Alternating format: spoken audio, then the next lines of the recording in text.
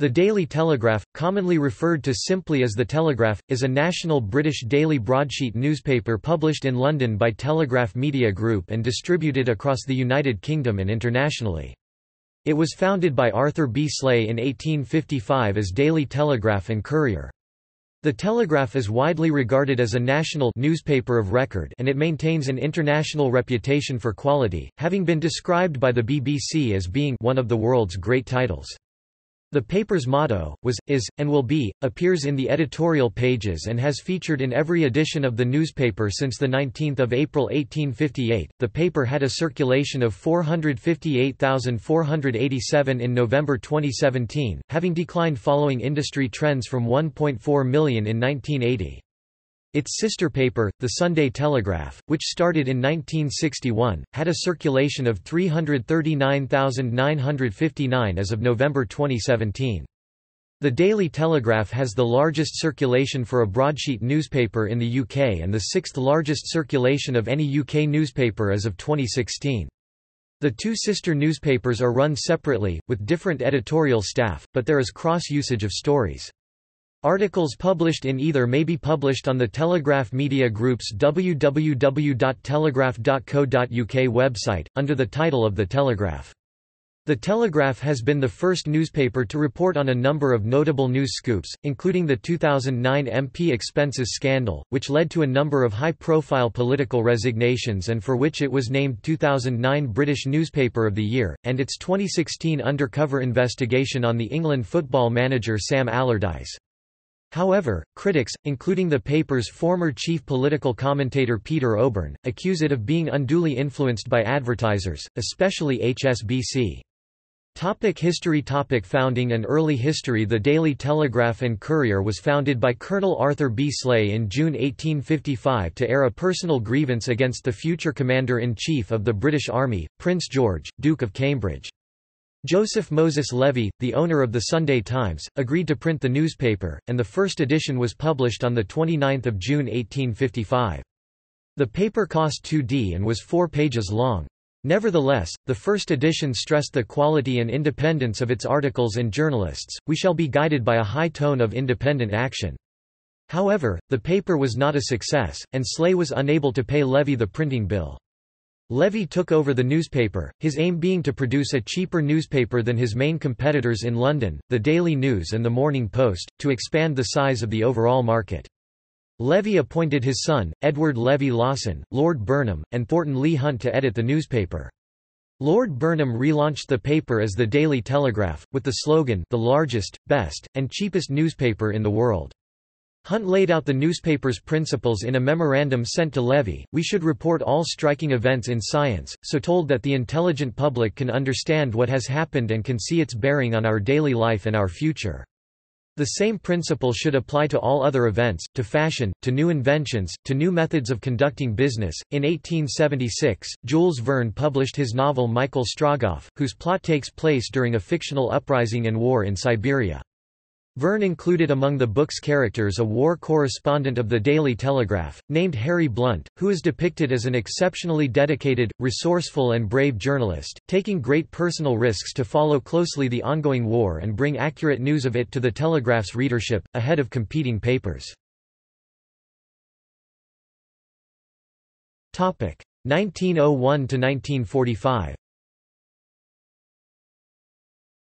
In 1908, Kaiser Wilhelm II of Germany gave a controversial interview to the Daily Telegraph that severely damaged Anglo-German relations and added to international tensions in the build-up to World War I. In 1928 the son of Baron Burnham, Harry Lawson Webster Levy Lawson, 2nd Baron Burnham, sold the paper to William Berry, 1st Viscount Camrose, in partnership with his brother Gomer Berry, 1st Viscount Kemsley and Edward Iliffe, 1st Baron Iliffe. In 1937, the newspaper absorbed the Morning Post, which traditionally espoused a conservative position and sold predominantly amongst the retired officer class. Originally William Ewart Berry, 1st Viscount Camrose, bought the Morning Post with the intention of publishing it alongside the Daily Telegraph, but poor sales of the former led him to merge the two. For some years the paper was retitled the Daily Telegraph and Morning Post before it reverted to just the Daily Telegraph. In the late 1930s Victor Gordon Lennox, the Telegraph's diplomatic editor, published an anti-appeasement private newspaper The Whitehall Letter that received much of its information from leaks from Sir Robert Vansittart, the permanent Under-Secretary of the Foreign Office, and Rex Leeper, the Foreign Office's press secretary. As a result, Gordon Lennox was monitored by MI5. In 1939, The Telegraph published Clare Hollingworth's scoop that Germany was to invade Poland. In November 1940, with Fleet Street subjected to almost daily bombing raids by the Luftwaffe, The Telegraph started printing in Manchester at Kemsley House, now the Printworks entertainment venue, which was run by Camrose's brother Kemsley. Manchester quite often printed the entire run of The Telegraph when its Fleet Street offices were under threat. The name Kemsley House was changed to Thomson House in 1959. In 1986 printing of northern editions of the Daily and Sunday Telegraph moved to Trafford Park and in 2008 to newsprinters at Knowsley, Liverpool. During the Second World War, the Daily Telegraph covertly helped in the recruitment of code breakers for Bletchley Park. The ability to solve the Telegraph's crossword in under 12 minutes was considered to be a recruitment test. The newspaper was asked to organize a crossword competition, after which each of the successful participants was contacted and asked if they would be prepared to undertake a particular type of work as a contribution to the war effort. The competition itself was won by F. H. W. Hawes of Dagenham who finished the crossword in less than eight minutes. 1946 Both the Camrose Berry and Burnham Levy Lawson families remained involved in management until Conrad Black took control in 1986. On the death of his father in 1954, Seymour Berry, 2nd Viscount Camrose assumed the chairmanship of the Daily Telegraph with his brother Michael Berry, Baron Hartwell as his editor-in-chief. During this period, the company saw the launch of sister paper The Sunday Telegraph in 1960. 1986 to 2004. Canadian businessman Conrad Black, through companies controlled by him, bought the Telegraph Group in 1986.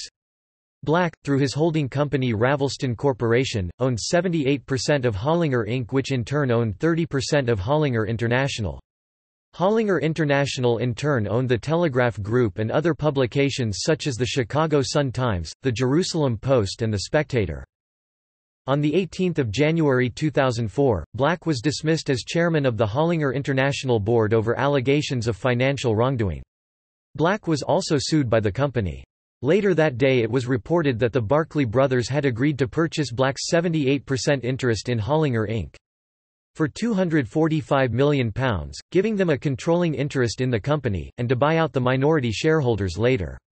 However, a lawsuit was filed by the Hollinger International Board to try to block Black from selling his shares in Hollinger Inc. until an investigation into his dealings was completed.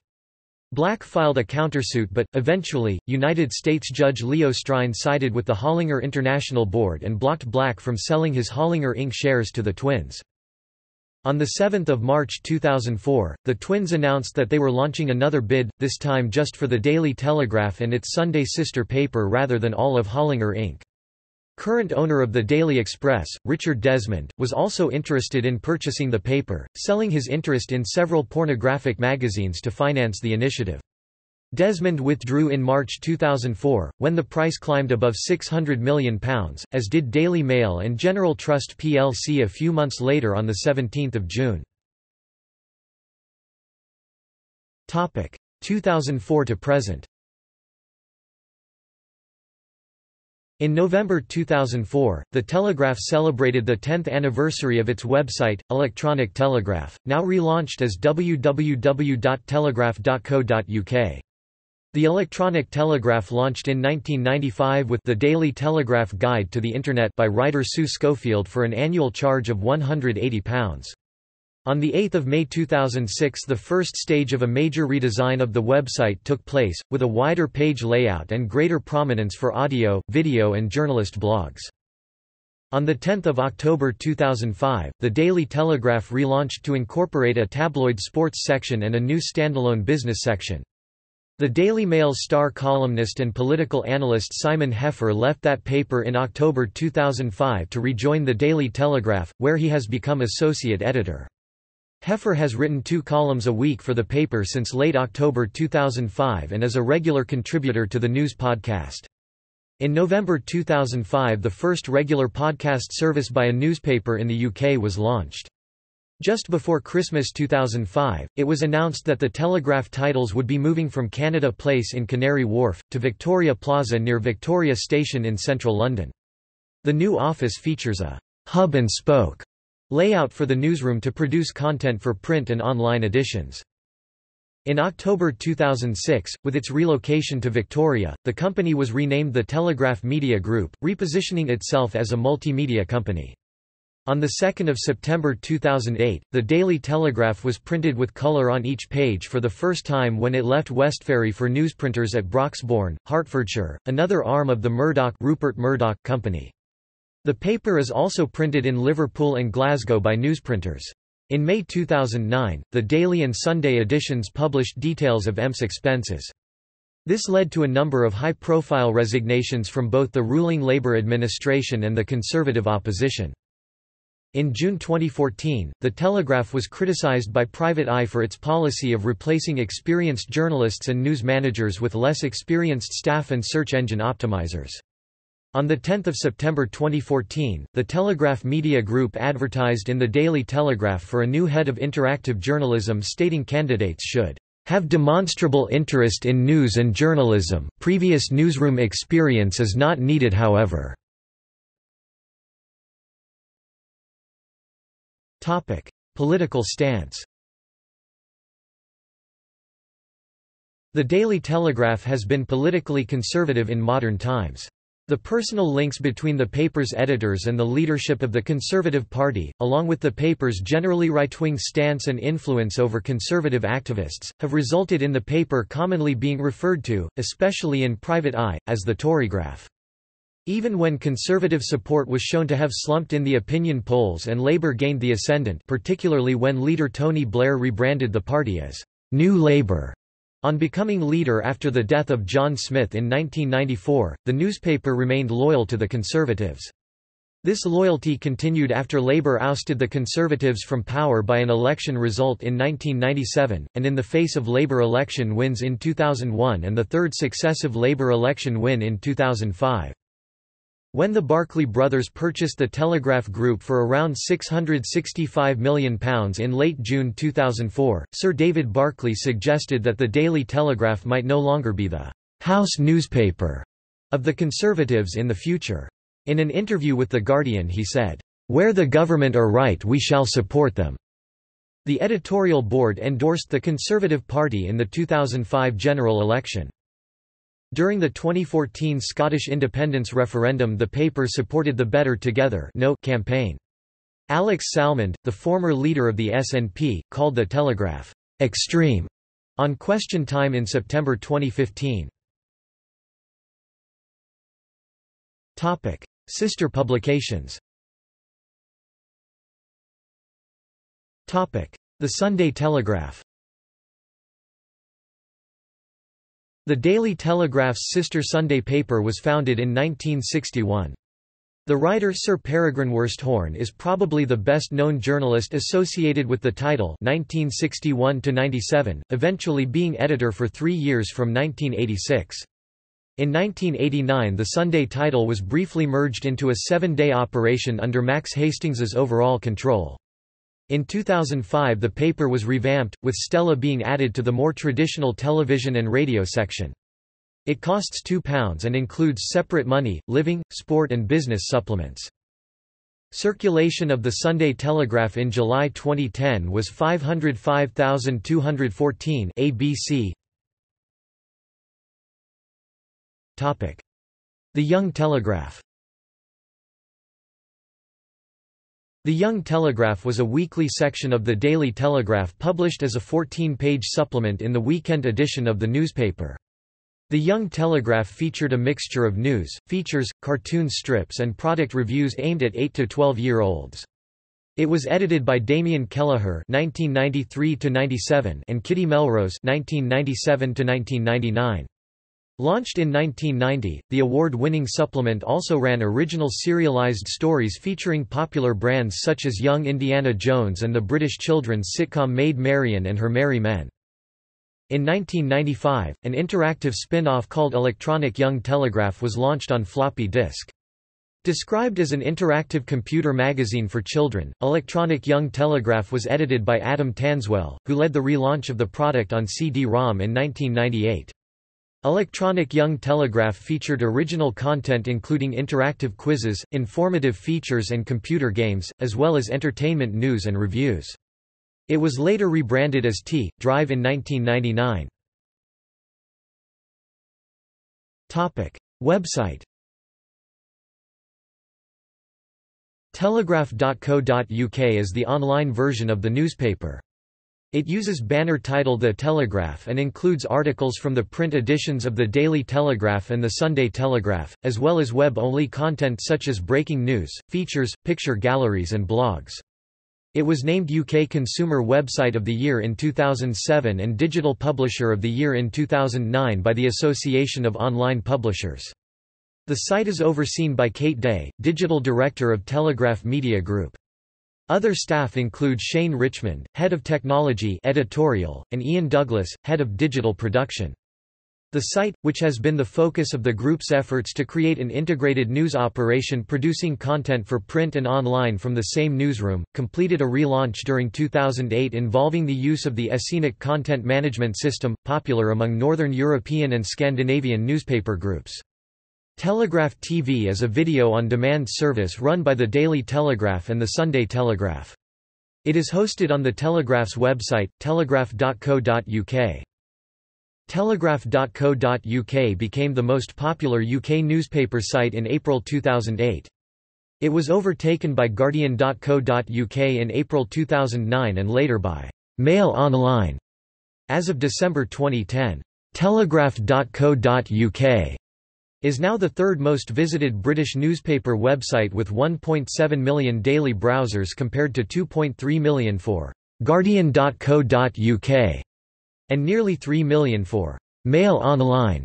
In November 2012, international customers accessing the telegraph.co.uk site would have to sign up for a subscription package. Visitors had access to 20 free articles a month before having to subscribe for unlimited access. In March 2013 the pay meter system was also rolled out in the UK. History The website was launched, under the name Electronic Telegraph at midday on 15 November 1994 at the headquarters of the Daily Telegraph at Canary Wharf in London Docklands. It was Europe's first daily web-based newspaper. At this time, the modern Internet was still in its infancy, with as few as 10,000 websites estimated to have existed at the time, compared to more than 100 billion by 2009. In 1994, only around 1% of the British population some 600,000 people had Internet access at home, compared to more than 80% in 2009. Initially the site published only the top stories from the print edition of the newspaper but it gradually increased its coverage until virtually all of the newspaper was carried online and the website was also publishing original material. The website, hosted on a Sun Microsystems SPARC 20 server and connected via a 64 kilobits per second leased line from Demon Internet, was edited by Ben Rooney. Key personnel behind the launch of the site were Matthew Doull and Saul Klein and the then marketing manager of the Daily Telegraph, Hugo Drayton, and the webmaster Fiona Carter. Drayton later became managing director of the newspaper. An early coup for the site was the publication of articles by Ambrose Evans Pritchard on Bill Clinton and the Whitewater controversy. The availability of the articles online brought a large American audience to the site.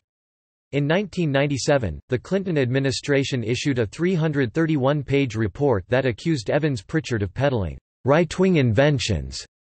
Derek Bishton, who by then had succeeded Rooney as editor, later wrote, in the days before ET it would have been highly unlikely that anyone in the U.S. would have been aware of Evans Pritchard's work, and certainly not to the extent that the White House would be forced to issue such a lengthy rebuttal.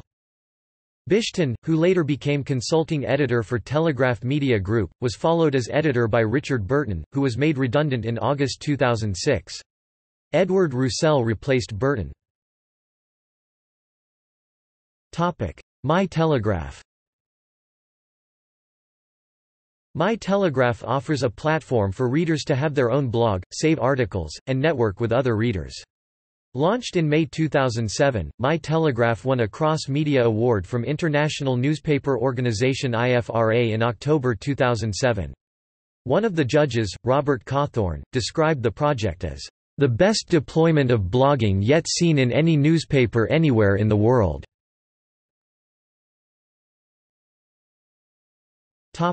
Notable stories In December 2010 Telegraph reporters posing as constituents secretly recorded Business Secretary Vince Cable. In an undisclosed part of the transcript given to the BBC's Robert Peston by a whistleblower unhappy that the Telegraph had not published Cable's comments in full, Cable stated in reference to Rupert Murdoch's News Corporation takeover bid for BSKYB, "'I have declared war on Mr. Murdoch and I think we are going to win.'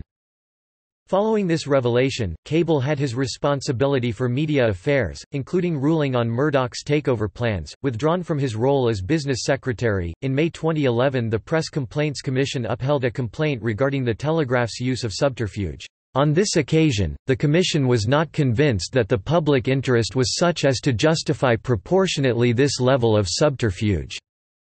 In July 2011 a firm of private investigators hired by The Telegraph to track the source of the leak concluded, "...strong suspicion."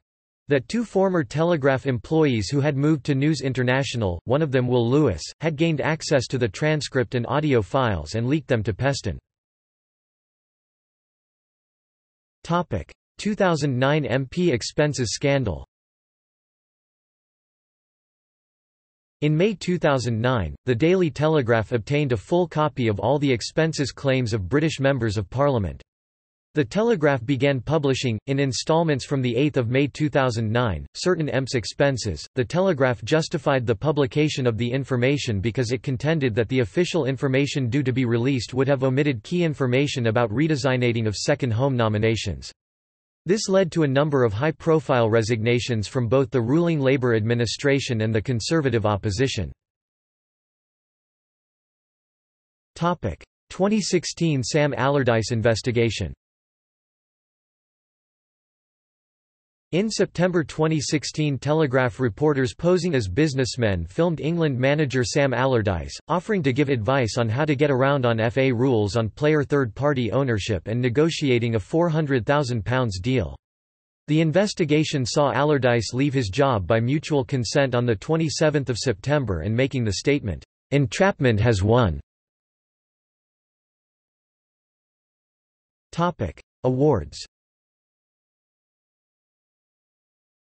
The Daily Telegraph has been named the National Newspaper of the Year in 2009, 1996 and 1993, while the Sunday Telegraph won the same award in 1999. Its investigation on the 2009 expenses scandal was named the «Scoop of the Year» in 2009, with William Lewis winning «Journalist of the Year». The Telegraph won «Team of the Year» in 2004 for its coverage of the Iraq War. The paper also won Columnist of the Year Three years running from 2002 to 2004, Zoe Heller 2002, Robert Harris 2003, and Boris Johnson 2004. Topic: Charity and fundraising work.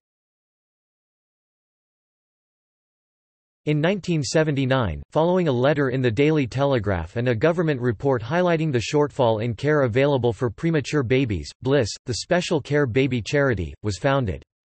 In 2009, as part of the Bliss 30th birthday celebrations, the charity was chosen as one of four beneficiaries of the newspaper's Christmas charity appeal. In February 2010 a check was presented to Bliss for £120,000. The newspaper runs a charity appeal every Christmas, choosing different charities each year. In 2009, £1.2 million was raised. Criticisms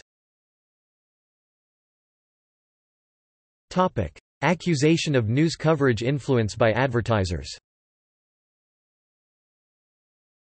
In July 2014, the Daily Telegraph was criticized for carrying links on its website to pro-Kremlin articles supplied by a Russian state-funded publication that downplayed any Russian involvement in the downing of the passenger jet Malaysia Airlines Flight 17.